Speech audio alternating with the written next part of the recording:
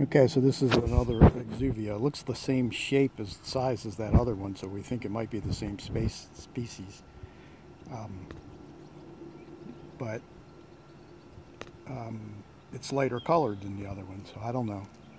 So I know my fingers were in the way when we swatched that other video.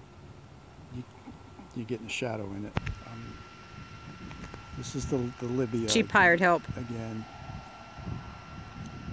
I don't know if you can see that or not. That the way that flexes out, I think it's gonna almost fall apart. But that that's what they that's their lower mandible that they use to catch prey again is larvae in the water. Bye. Miss you. Not the dragon, you.